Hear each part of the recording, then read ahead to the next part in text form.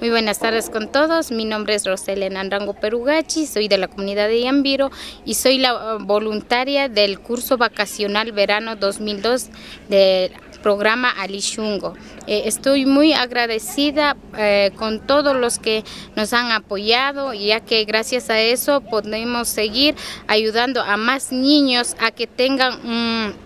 un mejor desarrollo en sus diferentes habilidades, ya que hemos trabajado tanto en la motricidad fina, en motricidad gruesa, lenguaje cognitivo y hemos estado